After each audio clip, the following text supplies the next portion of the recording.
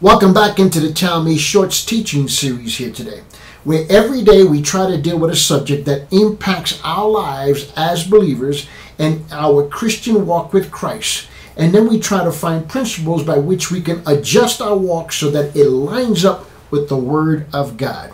Today, I want to talk to both men and women, and particularly the men and particularly the women, both of them because we have an issue that has to be dealt with. And it seems to me that as I have dealt with a lot of Christians and I've talked to a lot of pastors, nobody's willing to deal with the issue. And I want to talk to you about committing your eyes, committing your eyes unto the Lord Jesus Christ. But how do you do that in a highly sexualized, sensual culture that we live in today, all over the world? We're seeing this everywhere, all over the world. We're seeing this all over the social media.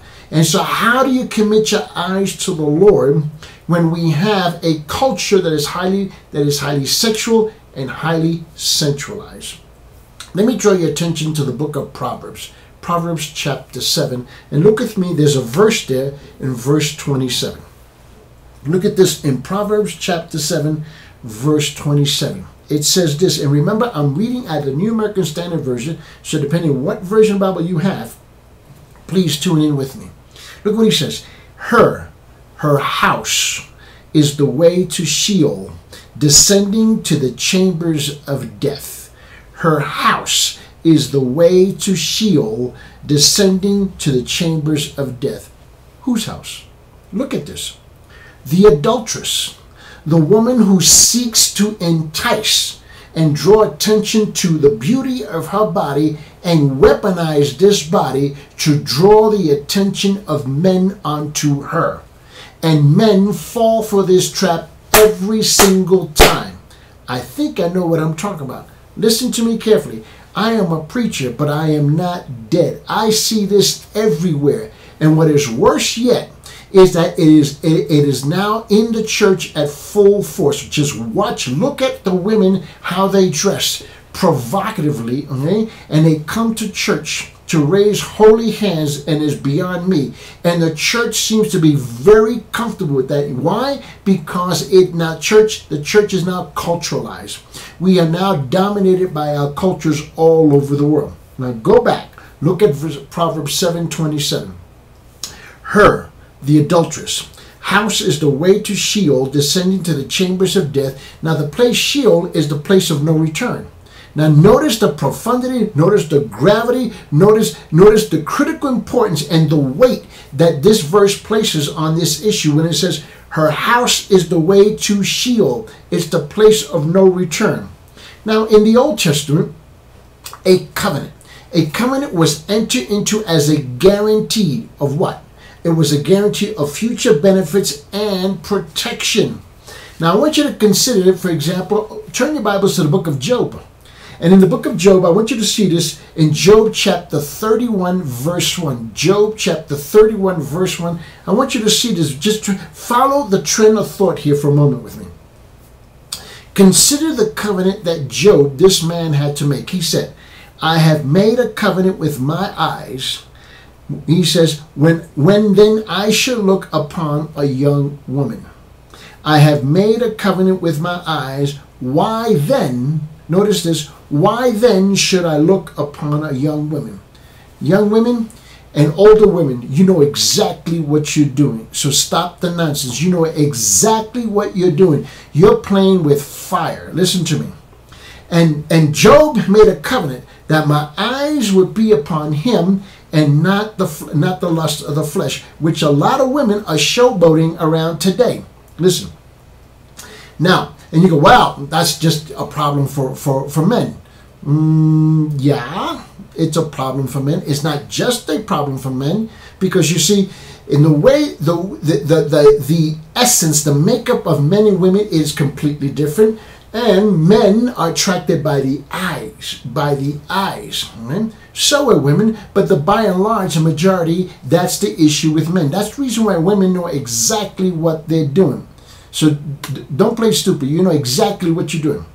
But he also addresses the issue to women. Women can be sexually enticed as well by the eyes. Look what look what uh, there was a man that was speaking Okay, and that was a man, Job, okay, that was speaking, but the same, how would I say, same gender neutral idea is found in the book of Psalms.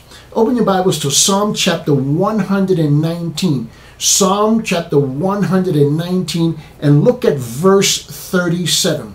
Look at verse 37.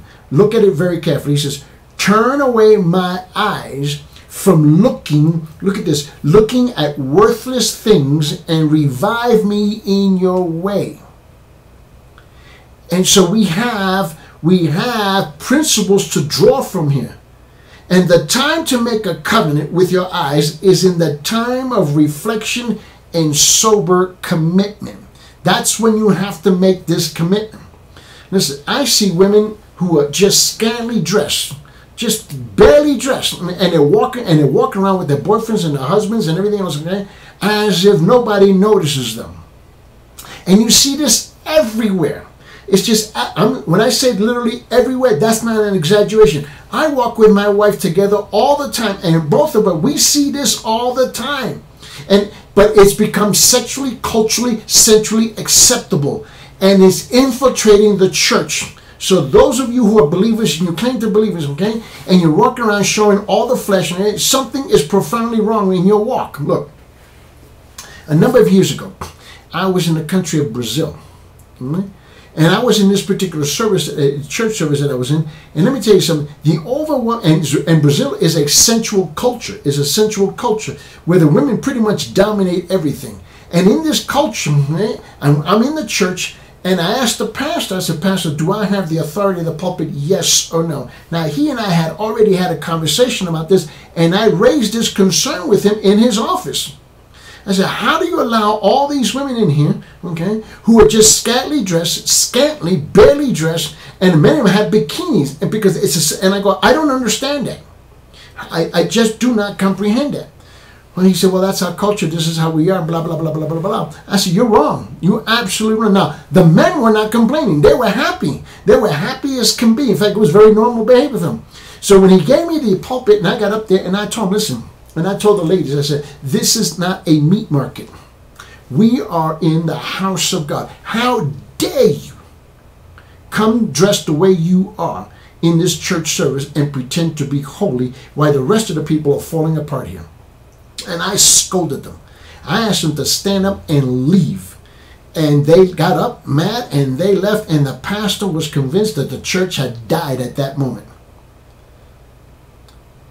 But his wife, the pastor's wife, told me, Thank you. Well, that was the morning service. And the pastor was convinced that they were going to cancel the service at night. Well, we came back at night. Mm-hmm, and let me tell you something. What was startling, what was absolutely amazing was see how many of those women came back to church properly dressed.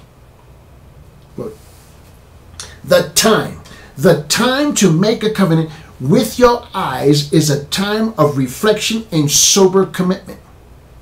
Now, the father in the book of Proverbs okay, warned his son, go back to Proverbs chapter 7. And if you would take the time, and I would encourage you, please, read Proverbs chapter 7, read it from verse 1 to verse 27. Read it all completely okay, and read it slowly. Okay? And here you're going to find that the father is warning his son to consider the danger and the damage that is associated with yielding to sexual temptation. You know, one of the reasons why sexual temptation is so it, it is so damaging, and I'll tell you why, because there's no end to it. You know, murder, stealing, cheating, deceiving, right? all those all of those sins have ends to it. But the sexual temptation and the sexual flirtation and all these other stuff, okay, there's no end to it because it immediately appeals to the flesh and it takes a hold of it. So, as parents tell their children, hmm, about all of life. Okay? An important lesson that they might share is that it's easier to stay out of trouble than it is to get into trouble.